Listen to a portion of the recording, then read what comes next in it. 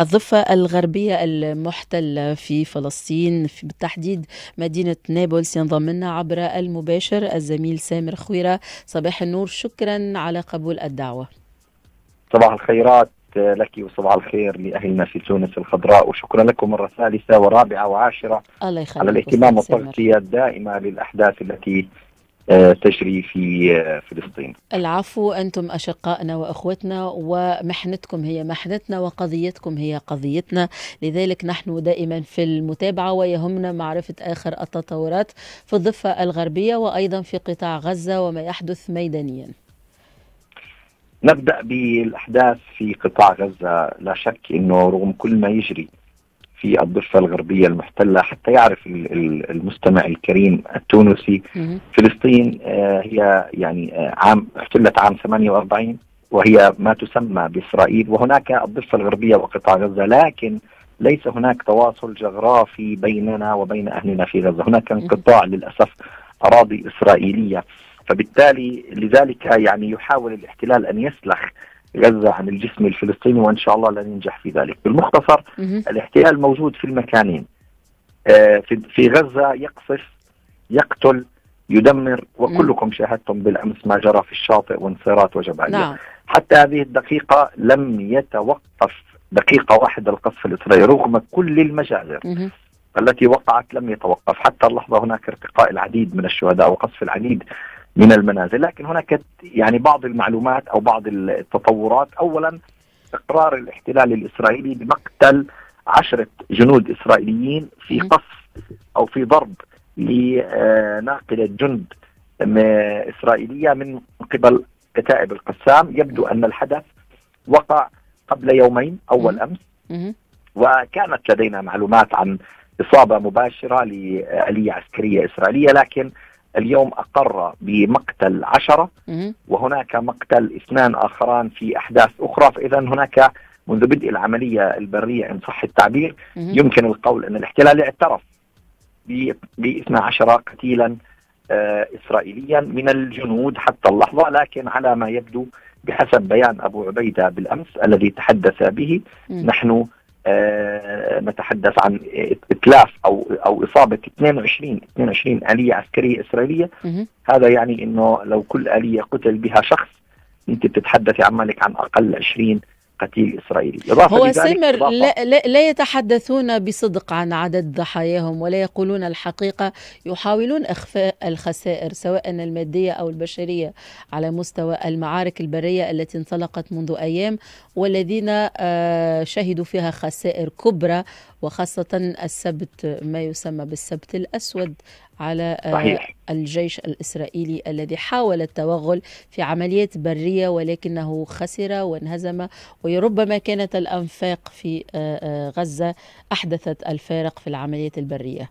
صحيح صحيح. هذا كلامك صحيح تماما. والكل يتوقع أن شدة القصف كلما كان القصف شديدا كلما كانت لدينا قناعة إنه خسائر الاحتلال أكبر بكثير مما يعلنون عنه.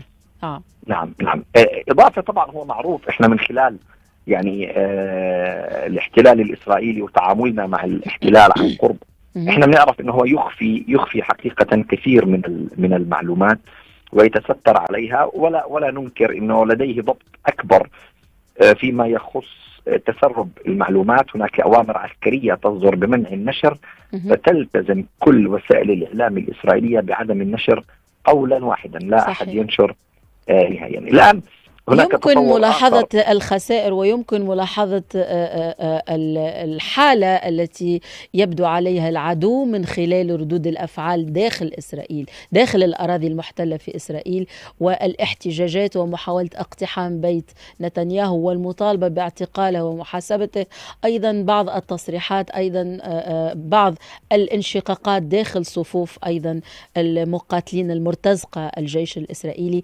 هذا الارتباك وهذا التردد التردد وهذا الاحتقان وهذه الفوضى ربما تعكس الخسائر غير المعلنة. هل تعتقد صحيح. أن هذه الملاحظات في محلها أم لا؟ مئة في المئة.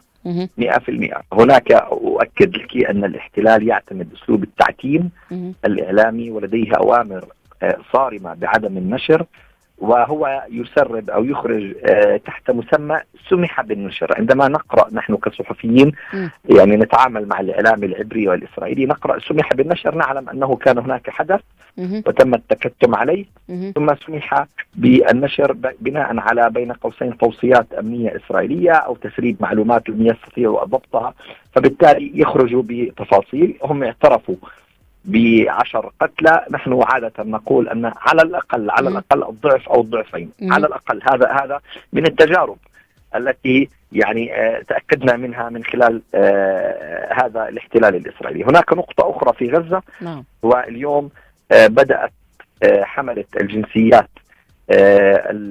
الغربية أو الأجنبية بالخروج من معبر رفح بتنسيق على ما يبدو بين مصر وحماس والامم المتحدة حسب المعلومات التي آه، نملكها آه، ساعطيك رقم. هي المرة الأولى آه، سمح بخروج 81 جريح على شرط أن لا يكونوا من حماس. كما أعلن الاحتلال الإسرائيلي إنه 81 تخيلي فقط 81 هل هم 81 يعني جريح كلهم حاملين لجنسيات أخرى أم لا لا لا. فلسطينيين مدنيين؟ هناك منهم إضافة غزاويين إضافة إلى خروج بعض الأجانب من حملة الجنسيات الأخرى. لا المصابين من أبناء الشعب الفلسطيني طيب. بجروح بالغة الخطورة. آه عددهم 81 سينقلوا إلى المستشفيات المصرية. وإضافة إلى ذلك هناك العشرات من حاملي جوازات السفر الأجنبية أيضا وصلوا إلى معبر رفح باستعدادا لمغادرة قطاع غزة باتجاه آه مصر هذا بناء كما ذكرت لك على تنسيق طيب. حكومة الاحتلال اشترطت حسب أه. البيان مراجعة كافة الأسماء التي سيتم السماح لها بالعلاج في مصر والخروج من القطاع للتأكد كما قالت من عدم طيب. مشاركتهم أو انتمائهم لحماس أو فصائل المقاومة حسب هذه الآلية. طبعا هل هل هناك وافقت. نعم. حماس وافقت لأنه الأمر الإنساني مقدم على أي شيء طيب. آخر. هل هناك مفاوضات جديدة أم هناك قرارات جديدة فيما يتعلق بعدد الشاحنات التي تدخل معبر رفح لتقديم المساعدات الإنسانية لقطاع غزة؟ للأسف الشديد آه، ليس هناك تطور في عدد هذه المركبات. أعتقد هي تعد كما يقولون على أصابع اليد الواحدة أو آه، اليدين الاثنتين. يعني عددهم قليل جدا جدا. آه، إذا إذا ما قارنا ذلك بالشاحنات التي كانت تدخل بالأيام العادية وعددها كان بالمئات يوميا. إحنا بنعرف إنه قطاع غزة محاصر. إحنا بنعرف إنه الوضع الإنساني بالغ الصعوبة والتعقيد. وإحنا بنعرف إنه آه ما في صناعة وما في تجارة فبالتالي هم يعتمدوا اعتماد شبه كلي على آه على الاستيراد من من مصر. لكن ال ال ال الاحتلال الإسرائيلي بهالمره منعهم حتى من دخول الشاحنات اللي بتحمل أدوية وعددها حتى اللحظة قليل جدا. طيب. الآن هناك خبر عاجل هناك خبر عاجل نعم. آه كتائب القسام قالت إنه القصف الذي وقع أمس في جباليا أسفر عن مقتل سبعة من المدنيين الإسرائيليين في آه آه في غزة. طيب سبعة آخرين في غزة. طيب أردت أن أتثبت من معلومة اطلعت عليها أمس ولكن ما مدى صحتها؟ لا أعلم إن كانت صحيحة أم لا ربما تملكون المعلومة من خلال الإعلام العبري والإعلام المحلي الفلسطيني. هل صحيح أن المقاتلين في صفوف الجيش جيش الاحتلال يحملون رقاقات لتتبع أثارهم وأين يوجدون؟ وهل صحيح أن المقاومة قامت بنزع هذه الرقاقات وتم تجميعها في مكان مكان ما تم قصفه في محاولة لاستهداف قتل الأسرى لكي لا تكون ورقة ضغط على الطرف الصهيوني ما مدى صحة هذه المعلومات؟ إيه، اولا اولا هذا هذا آه ال ال هذا الكلام يبدو صحيح. آه إنه الاحتلال بعد عمليات الخطف اللي التي بدأ يتعرض لها جنوده هو يتتبعهم بطرق مختلفة، قيل إنه آه بعض هذه الطرق هو زرع شرائح صغيرة جدا على أجساد هؤلاء آه، وهذا الأمر آه، لا يستبعد فحماس حتى تتجاوز هذا الأمر كانت تعمل على الوصول إلى هذه الشريحة وبطريقة معينة يتم نزعها لأنه نعم. فعلا ممكن تتبع والطرف الصهيوني كان يتتبع الآثار نعم. وأين نعم. يتم نقلهم وما يسمى بال GPS لدينا هنا في تونس صحيح. صحيح. وتم تحديد موقعهم وقصفه هي, هي هي زميلتي أقول لك جملة مهمة. نعم. هي معركه معركة عقول وصراع أدمغة أكثر منه أي شيء آخر. حماس تعلم تماما كيف يفكر الاحتلال وتجد آه، بين قوسين آه، كل الوسائل لتجاوز آه، ما يفعله الاحتلال الإسرائيلي. نعم. والاحتلال حقيقة أيضا يعني لديه إن صح التعبير بعض الإجراءات التي يحاول بها أن يصل إلى حماس بطرق مختلفة، إحنا أمام معضلة أمام صراع أدمغة وحقيقة في كل مرة تتفوق المقاومة الفلسطينية بشكل كبير بالنسبة لهذا الموضوع.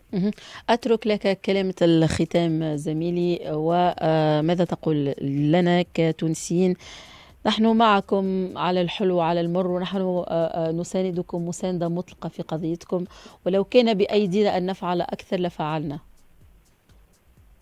والله حقيقة الوضع يعني ما تنقله الكاميرات وما تنقله الفضائيات هو اعتقد واحد بمئة بالألف فقط. يعني هذه لقطة كادر لا تنقل شيء من الحقيقة التي تجري. هناك مذبحة بكل ما تحمل الكلمة من معنى في القرن الواحد والعشرين. مذبحة حقيقية ولا أعتقد أن الاحتلال الإسرائيلي بين قوسين سيوقف هذه المجزرة قريبا. كنت أتوقع أنا شخصيا أنه الاحتلال ممكن يخضع لصفقة أو ما شابه لكن واضح أنها الأمور تتصاعد بشكل مرعب. آه، والاحتلال طالما كان هناك صمت أو مؤامرة أمريكية أوروبية واضحة وصمت عربي مطبق يعني للأسف أستطيع أن أقول عنه أقل ما يقال أنه مخزي. آه وتواطؤ. وكل هذه الجيوش العربية لا تفعل شيء وهي تشاهد ما يجري لأبناء شعبنا. أعتقد أن الأمور قد تصل إلى اسوء من ذلك. نحن بحاجة إلى أكثر من مجرد مسيرة ولا أكثر من مجرد فعالية ولا أكثر من مجرد يعني عفوا تشيلي وبوليفيا ودولة ثالثة كولومبيا سحبوا السفراء. يعني تخيلي مصر والأردن لا تفعل ذلك. تخيلي المغرب لا تفعل أقل القليل كما يقولون أقل القليل أن تقدم على هذه الخطوة. بالتالي إحنا حقيقة أمام معضلة كبيرة وموافقة على ما يبدو لأنه آه، طالما انتصرت المقاومة فعروش كثير من الأنظمة العربية ستنهار فهم حفاظا على هذه العروش يمكن أن يضحوا بالشعب الفلسطيني كله وليس فقط غزة. الله ينصر الشعب الفلسطيني والله ينصر آمين المقاومة. آمين. شكرا لك زميلي سامر خويرة من مدينة نابلس من الضفة الغربية المحتلة.